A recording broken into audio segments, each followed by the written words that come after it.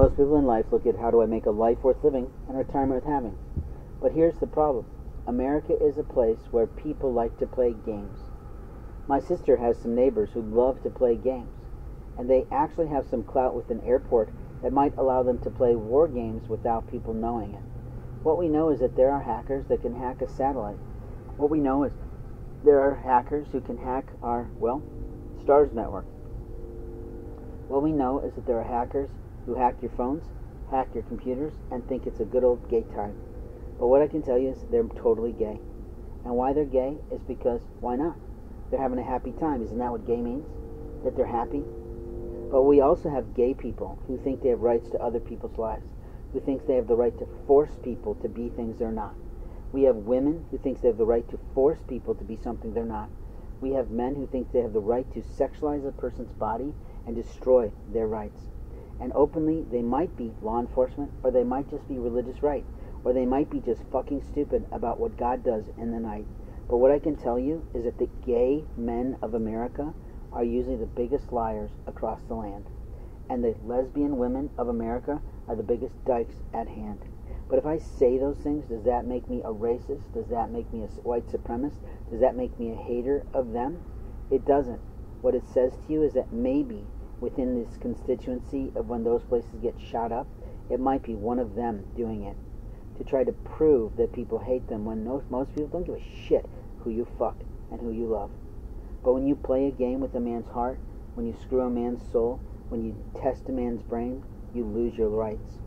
When you play dangerous games of psychological abuse and inappropriate misuse of someone's body that is not yours, you put yourself in hell. You don't have to believe in the afterlife, but I promise you, you'll be ripped from your body by the reapers and screaming your way all the way through hell to the rest of your afterlife. So while you think you might be in the moral high ground, I highly recommend you learn pendulum from me. Because in two seconds flat, if you submit your life to God the way you say you do in front of Jesus, that pendulum, that faith fob that I make, that one you take with your necklace that's a heirloom to your family, can tell you whether you're going to hell or not. And all you have to say is, My Lord Jesus, I submit my life to you. I'm grateful for the 316 passages of the Bible, but I need to know, am I going to heaven or hell? Please answer me today. If I'm going to heaven, say yes. If I'm going to hell, say no. But before that, you have to ask your Jesus, your Lord, your God, what is your yes and what is your no? And if there's a little bit of movement in your fob, it might be God trying to teach you something.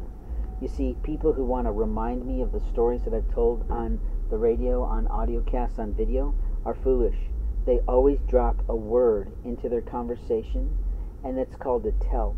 It's true that the FBI is looking for blacks, whites, Hispanics, and other people that can play the game with people to get information to harm people.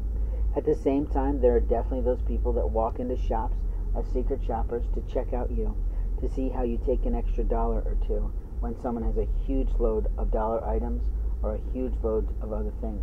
But what we know about people is that people are people, and every human being in America has a right not to be a slave. So when you started to play this game, did you decide you wanted to be a slave master or a slave? Because either way, you might think you're the slave master, being in control of people, but in actuality, when you played a game with someone's body, with his life, with his records, you became the slave.